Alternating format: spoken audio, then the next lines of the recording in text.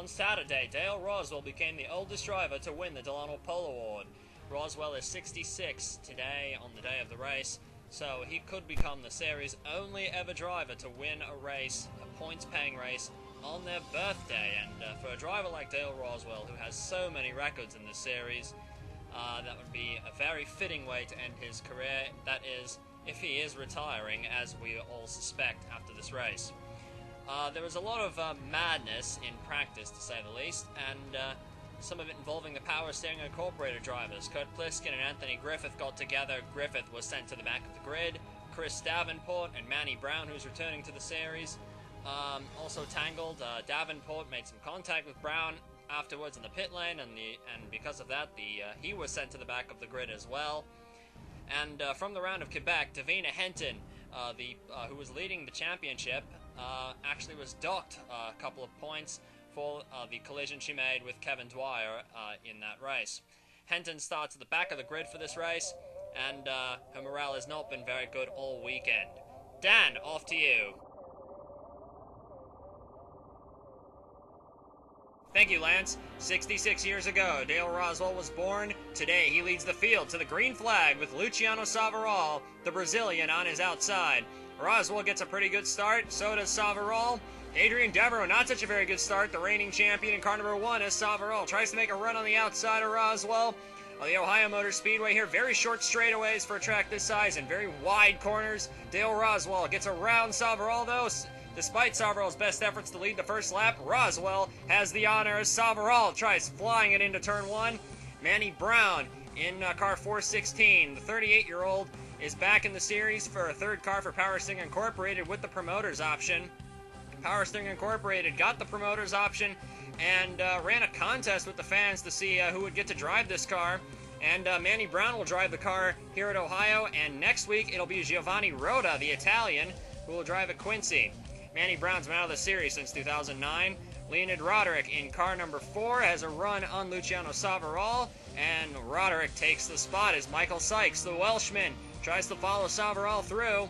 Michael Sykes, that five car's been quick, but so has Roderick. Roderick is the man with momentum. He won at Quebec, the very last race at Road Gatineau.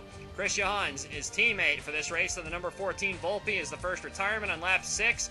Johans needs some luck that uh, Volpe just kind of grenaded on him when he was downshifting, and uh, the gearbox packed up, and Johans is going to have an early exit to the race. He needs some luck. Melanie Cleveno, car number 12, has been running. Oh, Cleveno around into turn one, and looks like she just lost the back end of that car under braking. Um, on the radio, Melanie Cleveno said that something uh, that, it, that the car suddenly snapped around as if something broke at the back of the car.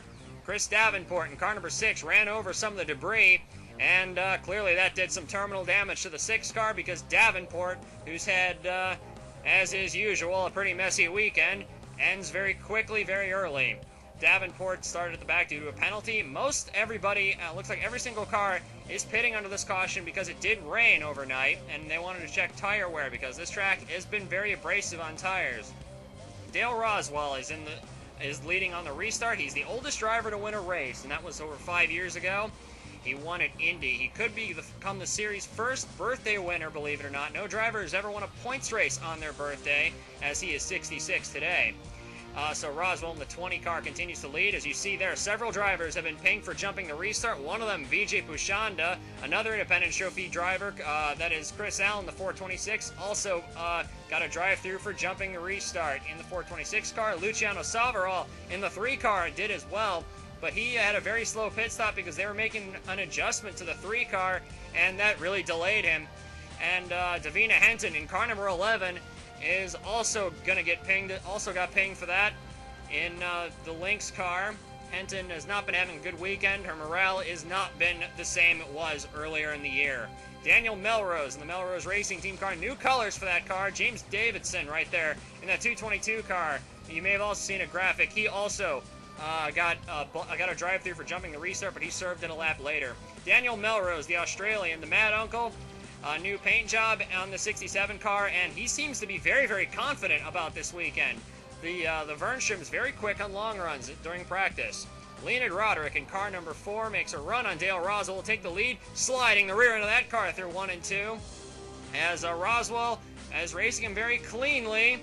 Oh, Roswell pinching him down just a little bit, not giving him a whole lot of room, but Roswell drops back as they encounter the lap traffic, that being VJ Pushanda in the 57, who really doesn't have really doesn't have anywhere else to go because the leaders did run him down very quickly.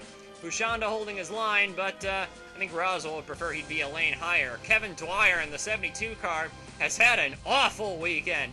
He's blown two engines. On a track like this, we've had, we've had very few mechanical problems on cars, but Kevin Dwyer has had a terrible weekend. Ebenezer Quiggles Jr., third back. The Confederates run a program for psychically gifted humans, training them to be ghosts. Those running the program found that the Zerg are tuned to the psychic emanations of ghosts. There's been a lot of secret Confederate research surrounding ghosts and the Zerg. What we stole was a small but critical piece of the puzzle, designs for a transplanar psionic waveform emitter. The emitters broadcast the neural imprint of a ghost, but at a much greater magnitude. Quiggles Jr. started all the way back in 40th. He's running in 15th. Scott Stoidler is running in the uh, third car for Alert. His uncle Marty Stoidler, some of you may remember him, uh, competitor in the 80s, will probably be returning to the series at Quincy, so we'll have two drivers with the name Stoidler on the grid for the round of Quincy. Scott Stoidler, on the other hand, he's having a fantastic day today with his first run for uh, the Alert team. Tom Moore up in 17th. He was second here last year. He's looking to improve on that. Uh, he's had. Uh, uh, he hasn't quite been as strong as he seemed last year, but uh, the determination is still there for Moore. Adrian Devereaux in car number one is back to 19th place as oh they're lapping Manny Brown and uh, Brown is is uh, well anyways Adrian Devereaux getting around James Davidson who's having a, he's having a much easier time with as there's Manny Brown who um, uh, Manny Brown hasn't been running in this series since 2009. Uh, he's been having a lot of problems all weekend. He's trying to let everyone go by on the inside, but really, there uh, he's uh, kind of lucky he actually qualified for this race because uh, he just barely made it under the 110% rule. And uh, yeah, there's some problems with the back end of that car. He got into an accident with Chris Davenport uh, in practice. Davenport was none too happy with Brown as Brown goes up into turn three. He hits the wall. And uh, Manny Brown is just hanging on for dear life, it seems, out there. Uh, but anyways, Leonid Roderick in car number four is beginning to stretch his lead a little bit. Luciano Savaral is uh, the, is now the second to last car in the lead lap, but Roderick is uh, not really closing in on the Brazilian as much as he would like. Arto Kakinen started at the back of the grid. He is uh, now up to 22nd place in the Gessler. So uh, who's uh, who won this race last year, has got some work to do. But uh, despite that, the Finn has um, really had a very bullish attitude about this week. Uh, he's very determined here as we have the battle for sixth place between two very popular drivers in the paddock. You have Jenny Kuznetsov in the number 8 Katsev and the 67 Vernstrom of Mad Uncle Melrose in that 67 car. Uh, this is Kuznetsov's best weekend of this, of this season by far, and he did run the Arlo Elite Series, which runs a lot of short tracks. Quiggles Jr. is still holding on to 15th. The Confederacy used these psi emitters to lure the Zerg into isolated containment areas. Your colony, Mar Sara Commander, was one such location. What are you saying? I'm saying the Zerg are a secret weapon developed by the Confederacy. I'm saying we're all subjects of a Confederate weapons What's test. going on there? Anyways, Manny Brown in the 416 car getting lapped by Melrose and uh, Kuznetsov. There's uh, that 18 car of Troy Adams who's also having a very strong day in that in uh, that Nemoto. As here comes Kevin Dwyer on the inside. Kevin Dwyer shoots him the bird as he goes by. He's uh, five laps down at this point. He's not making any friends out there, that's for sure. Stoidler in the 70 car goes by. As here comes the 74 car of Duff. Uh, as here we're now we're looking at Daniel Melrose in the 67. Troy Adams has got a run on the Australian. Two Australians here battling for position in two red and black cars. Adams gets the gets the place. Quiggles Jr. getting held up by the 416 of Brown. Uh, there comes Darren Cardell sliding in that 87 car, that uh, gray and orange car. He's all he's all sorts of sideways there. But uh, Quiggles Jr. not terribly happy, I don't think, behind that 416 car. And I think that might have been another bird shot at Manny Brown. So, uh, this is going to be an interesting day. Leonid Roderick still leads the race. Yeah, it's Peter Short on the 22 car. The 29 car this weekend is being driven by Venezuelan TM Lights driver Mariano Zavala. So Zavo, whoa, Zavala cutting that in uh, a little bit uh, too low as Roderick had that car all sorts of sideways. Melanie Klebno has gotten her way back up to 12th. Klebno uh, has the second fastest lap of the race. Is oh no! She has the first. Uh, she has the first and second fastest laps of the race, and there goes uh, the Gessler engine in that Lynx car. The Melanie Klebno is out of the race. She has brought out both of the first two cautions, and uh, the very optimistic Swiss driver has had a uh, well, a very. Oh no! Rossini piles in. Oh no! I think Rossini's spotter may have told him that Klebno was high off turn two, and he and he thought he was in a, she was in a different place. Leonid Roderick pits after everyone else has pitted once. Uh, he the pace car lights are uh, gonna go off as the, the field uh, comes by the stripe, but I don't know what Roderick is doing here. Oh, look at this! Look at Roderick by going the pit speed is actually gaining ground on the pace car. I see what Volpe's trying here. They fueled him up a little bit, and they're going to send him back out in front of the field. He's given the sign by the uh, by the flagger there, and Roderick is now stretched. Is now actually gone into the pits under caution and gained ground on uh, some of his competitors. Now uh, the pace car peels in. He's gonna lay, lets the pace car pass him. As uh, oh we got we got more trouble back here.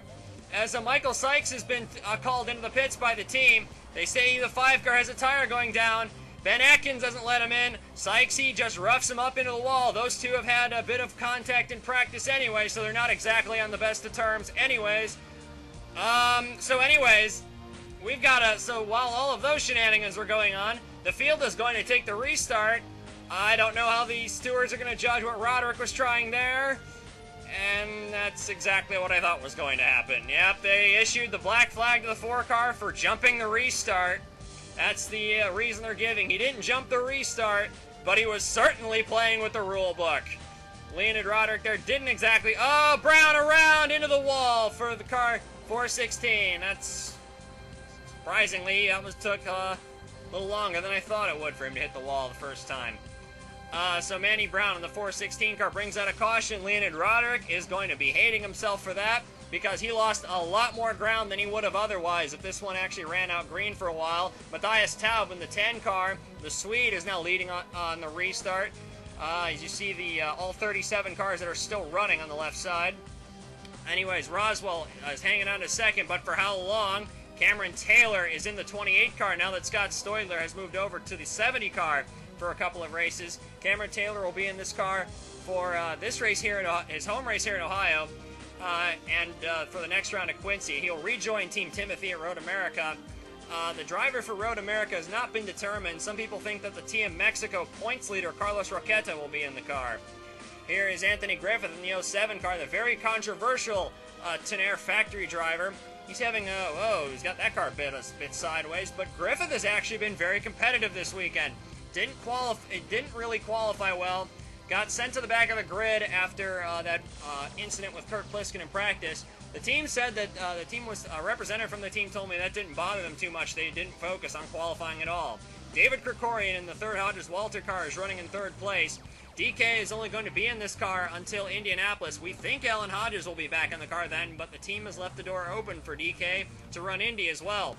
Matthias Taub is still leading the race, as here we have the 70 car back in fourth place with Scott Stoidler at the wheels. He goes around Roswell now, so Stoidler moves himself up another place. Taub has got Luciano Savarola and Davina Henton right behind him. Those are two, both those cars off the lead lap, and both of them are very fast. Savarola in that three car. Oh, here comes back. Whoa! Look out, Packer Carroll. This is Carroll's home race. Luciano Savarola gives him a little brush saying he didn't like that very much. Packer Carroll a lot of people are not very fond of the pit exit here, and that's why. Uh, but Luciano Savarola not happy with Packer Carroll. It's Kurt Pliskin in the 16 car. Uh, the uh, PSI, the lead driver over at Power Steering Incorporated, having a very good day. Lu uh, Lewis Kingston and Michael Sykes roughing each other up a little bit behind him. Troy Adams in the 18 car has a uh, this smoke billowing out the back of that car. We believe the uh, we believe the engine is gone on that car. He's holding his line now. And Troy Adams, oh, what is he doing? Why is he sideways in the middle of the track like that? Oh, Packer Carroll nowhere to go. Packer Carroll had a, oh, Pliskin into him. Oh, no, what, what on earth? was Troy Adams thinking when he left the car sideways like that? As Mariano Zavala gets a tiny piece that, Kurt Pliskin is out. Kevin Dwyer, a lot of damage to the front end of that car. Looks like Lecklider in the 47 has a bit of damage as well. But that was an insane maneuver by Troy Adams. I don't know why he, he left it sideways like that. I, I wonder if he was thinking he would force the caution to come out so that they could bring a wrecker out on track. But even still, you don't need to do something as crazy as that to, for that to happen. Oh, goodness me. Packer Carroll in the two car had to pit earlier, as I was going to say, because he had some damage after scraping the wall. But as Darren Cardell, who is now a, who is a lap down, uh, got one lap down under, uh, because of that mess, is now gotten away from Matthias Taub. Cardell back in the lead lap temporarily as Taub tries to hold off Greg Woodard in the 41, who has uh, had a less than desirable day. Problems have plagued the 41 car all day. Taub leads over Roswell, as you see right behind him in that 20 car, and then Krikorian and Ashby entering the frame in the 55. Look out for Ashby as uh, Matthias Taub continues to uh, continues to lead. As here we got Roswell, he's trying to hold off Ashby in the 55. Zelda Ashby has uh, some pretty legendary abilities on these restarts on the short ovals. Um, we've seen Ashby uh, really claw her way through the field quite quickly and uh, that uh, that uh, the FPO Termin uh, the Terminator T9000 has been a very good car for Ashby this year. Adrian Devereaux in car number one is beginning to claw his way through the field. Dan Lecklider in the 47 car is um, having a strong run for Tenair. Lecklider driving for his own team with a Tenair car, at Tenair's home race. Uh, he is representing them very, very well today, despite the fact he has rear end damage to that car.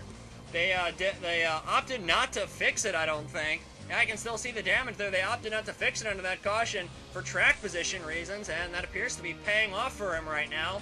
He's hanging on, and uh, could be a serious factor here um, in that 47 cars. Greg Woodard tags the back of the race leader. Matthias Taub runs himself up into the high lane. I don't think that was on purpose. Um, there's Yuliana Sova in the 7 car trying to avoid going... Oh, Manny Brown again. This ought to be fun. As uh, the rest of the leader, oh, these aren't all leaders here. Scott Bates is a couple laps down.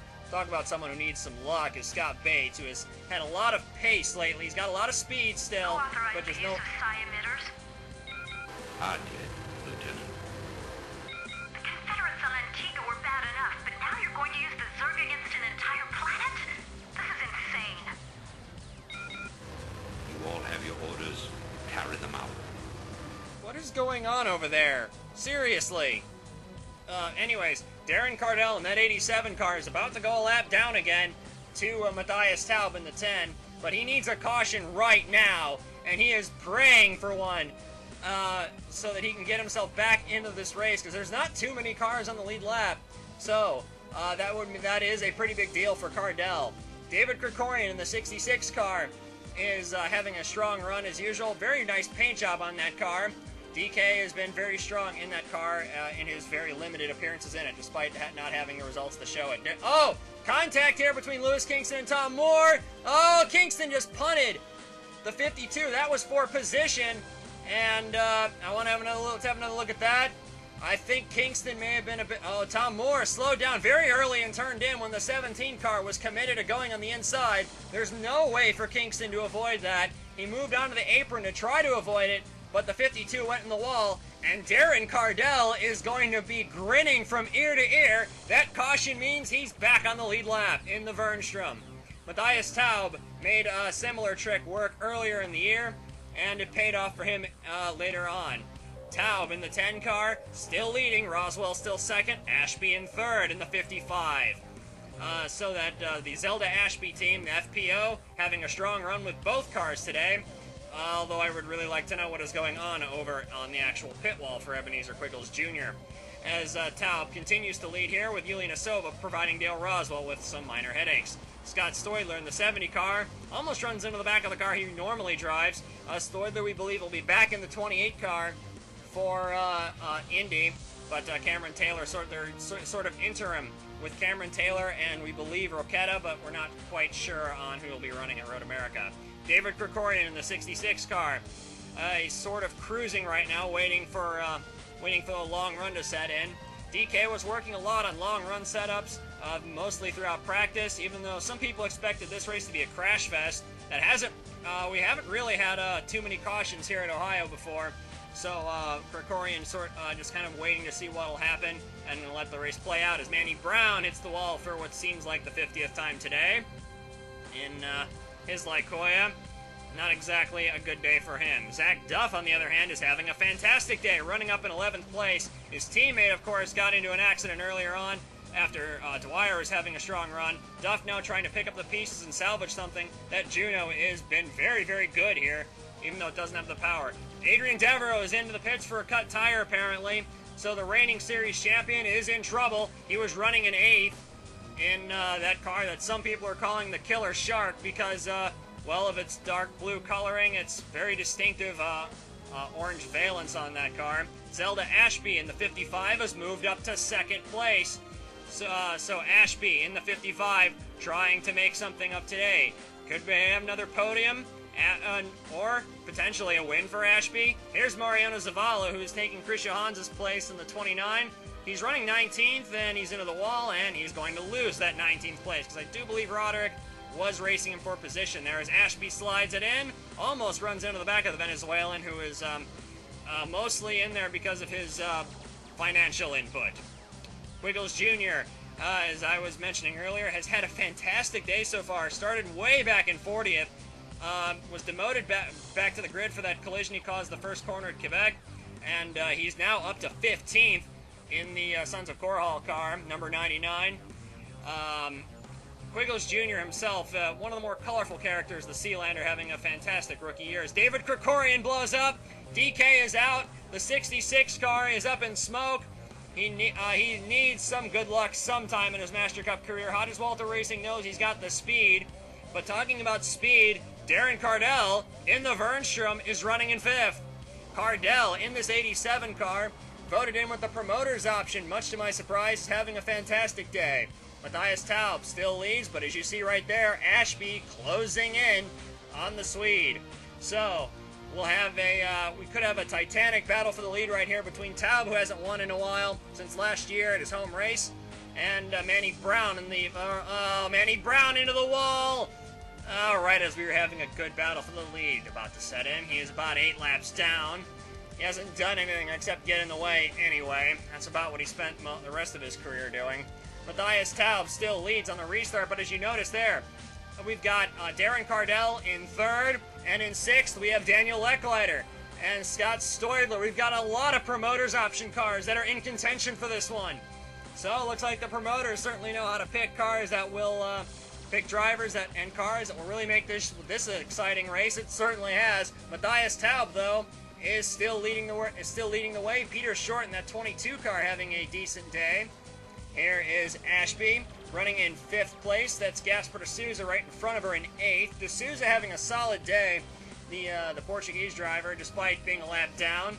De Souza has been having a very strong season in this very distinctive Clever Media Tremwell. We believe that Black Diamond Racing is still running last year's Tremwell and D'Souza had a very strong start to the season. His form sort of tapered off a little bit after Karjala, but it looks like it's back on the rise. He's still in the top 10 of the championship. Scott Stoidler is running in third. Pretty good run for him. Fantastic run, dare I say it, considering that he was only confirmed uh, to be driving this car on Wednesday. And uh, didn't have a whole lot of practice time either. Uh, practice time was curtailed by uh, some problems with the rear end of the car, but he's having a great run today.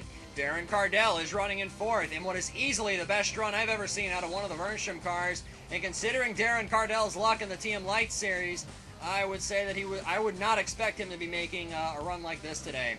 Zelda Ashby and Dale Roswell are squabbling over fifth place. Ashby makes a dive, gets into the side of Roswell, but there goes the 55 right on through.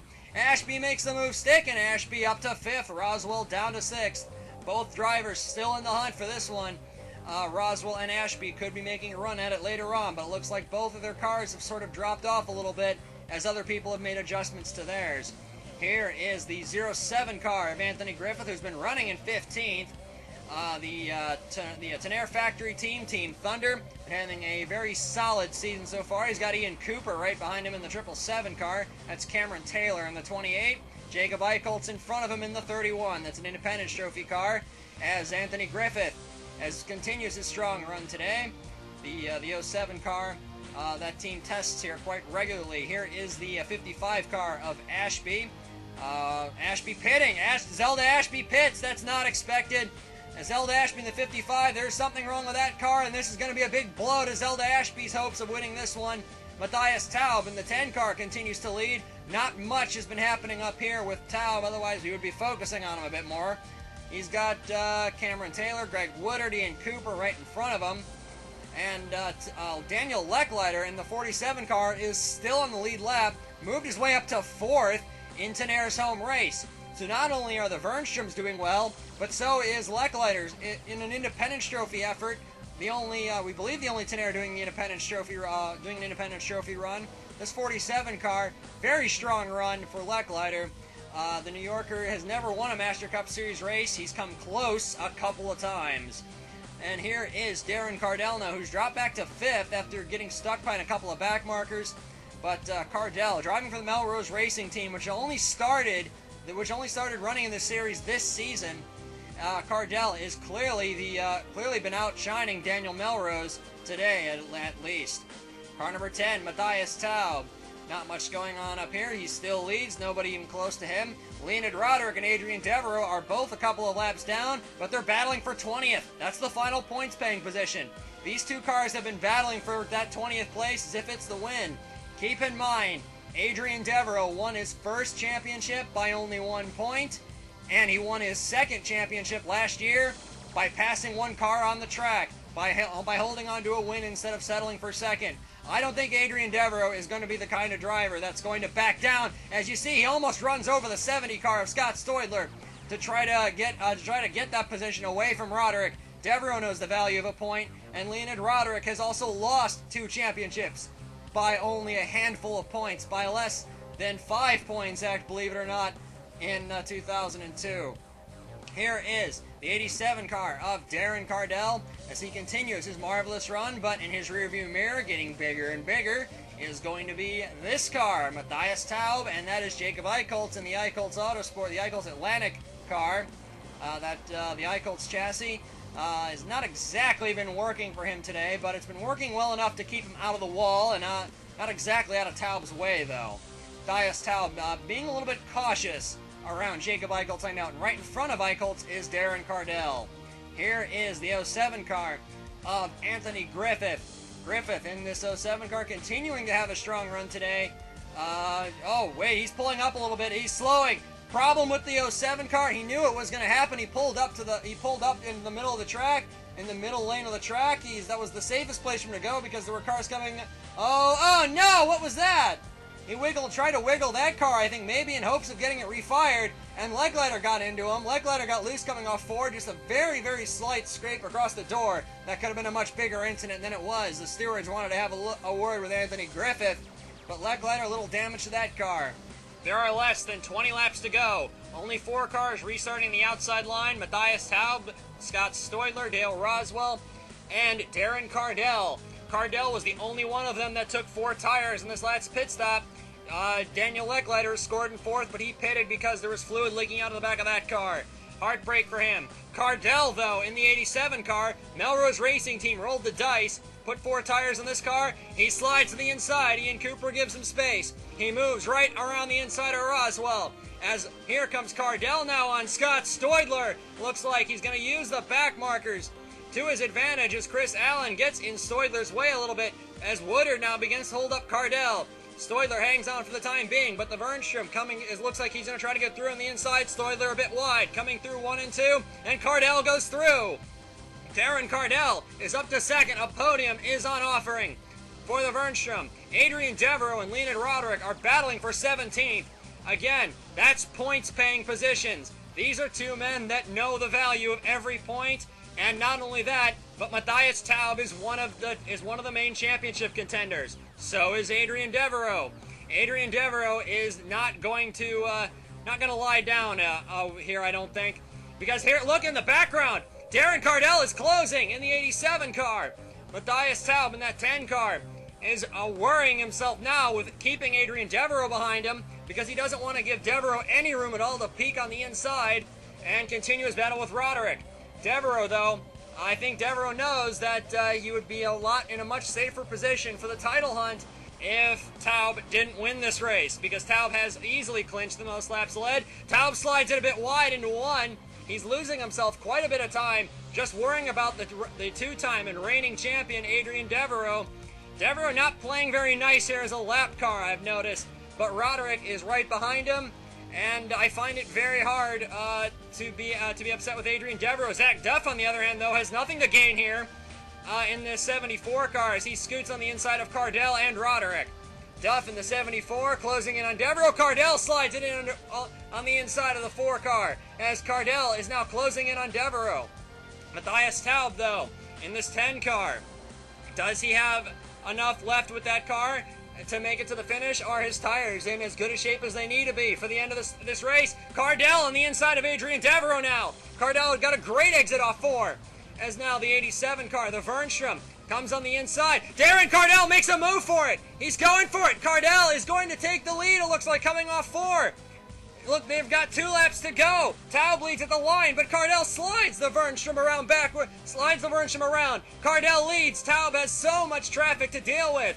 Darren Cardell in the Vernstrom leads as he's going to take the white flag.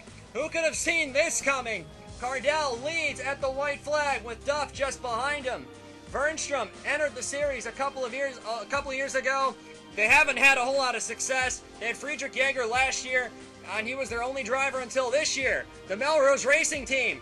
And Darren Cardell comes across the line to pull off the biggest upset of the year. Cardell wins at Ohio. An unbelievable turn of events puts Cardell in the winner's circle for the first time as Darren Cardell wins the race with Matthias Taub having to settle for second. A very, very good win for Cardell. Way to be an way to be opportunistic. And Melrose Racing Team was celebrating this one like you could not believe. Scott Stoidler in car number 70 rounded out the podium, just beating Dale Roswell to the line in the 20 car. Michael Sykes, Scott Bates both had strong days along with Gaspar Souza. Yevgeny Kuznetsov in the 8 car had a fantastic drive of his own. Just ahead of Peter Short, Quiggles Jr., Dan Leckliter in the 47, and Jacob Eichholz were the cars one lap down. Four cars finished this race on the lead lap. Ashby finished two laps down, having to make that stop unscheduled stop under green. Ian Cooper's productive day for Davina Henton as she comes away from this one with 10 points. Lewis Kingston was the last of the cars two laps down. Devereaux and Roderick were three laps down, but were battling like it was for the win over two points for 17th place. Both of those drivers said in their post race interviews that they weren't going to give up two points because both of them knew exactly how much those points mean to them. Packer Carroll gets two points in his home race despite uh, some rather messy uh, early part of the race. There was a fair bit of discussion between Volpe Racing Team and Mariano Zavala because they believed that Zavala had put Carroll in the wall unfairly. And Cameron Taylor, in his home race, in his first race for Manticore Engineering, takes the final point for 20th place. Let's have a look at the Drivers' Championship leaving the round of Ohio. As you see now that Michael Sykes has the championship lead in the red 5 over Davina Henton in the 11, Matthias Taub, Ashby Devereaux, and Kekin in the major title contenders, it looks like at this stage. 55 points separate first through sixth. Uh, but as you go down, there's a pretty big gap between uh, in, in sixth and Melanie Klevno in seventh. Leonid Roderick has been having a couple of very strong runs lately in that four car. I wouldn't count him out. Gaspar Souza and Luciano Savaral could be factors as well. Scott Bates and Peter Short uh, are long shots at best, but uh, Scott Bates has got a couple of very strong tracks of his coming up, so we could see a turnaround in the fortunes of that 88 team uh, Kurt Pliskin in the 16 car, beginning to make um, was beginning to make some headway pretty much up until this race. But thankfully, uh, a lot of the drivers around him in the championship didn't have such hot days either. Lewis Kingston and Zach Duff didn't score points. Tenchi didn't start the race. Quiggles Jr. got a fair couple of points. And Quiggles Jr. will need those points in his battle with Yevgeny Kuznetsov for Rookie of the Year. And one look at the Independence Trophy shows that Jacob Eichholz and Dan Leckliter both made a fairly significant gains in their bids to claim the Independence Trophy. The TM Master Cup Series will run a race number 13 at the Grand Detour of Western Illinois in Quincy, and that track has had some infrastructure updates, some long awaited infrastructure updates, so we should be seeing a much nicer facility when we get there.